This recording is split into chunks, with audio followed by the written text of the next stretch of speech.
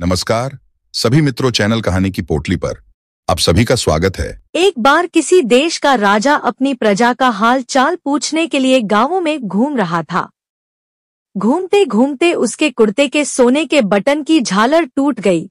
उसने अपने मंत्री से पूछा कि इस गाँव में कौन सा सुनार है, जो मेरे कुर्ते में नया बटन बना सके? उस गाँव में सिर्फ़ एक ही सुनार था, जो हर तरह के गहने बनाता था। उसको राजा के सामने ले जाया गया। राजा ने कहा, कि तुम मेरे कुर्ते का बटन बना सकते हो?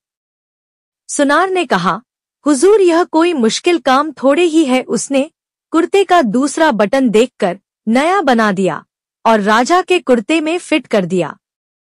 राजा ने खुश होकर सुनार से पूछा, कि कितने पैसे दूँ? सुनार ने कहा, महाराज, रहने दो। छोटा सा काम था। उसने मन में सोचा कि सोना राजा का था। उसने तो सिर्फ़ मजदूरी की है, और राजा से क्या मजदूरी लेनी है? राजा ने फिर से सुनार को कहा कि, नहीं नहीं, बोलो कितने दूँ? सोनार ने सोचा कि दो रुपए मांग लेता हूँ। फिर उसके मन में विचार आया कि कहीं राजा यह न सोच ले कि एक बटन बनाने का मेरे से दो रुपए ले रहा है तो गाँव वालों से कितना लेता होगा? और कोई सजा न दे दे।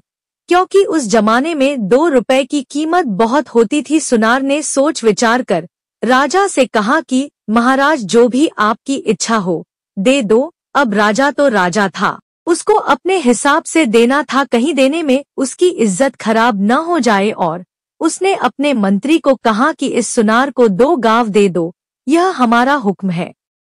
यहाँ सुनार जो सिर्फ़ दो रुपए की मांग करने का सोच रहा था मगर राजा ने उसको दो गाँव दे दिए। इसी तरह जब हम प्रभु पर सब कुछ छोड़ते हैं तो वह अपने हिसाब से देता है और मांगते हैं।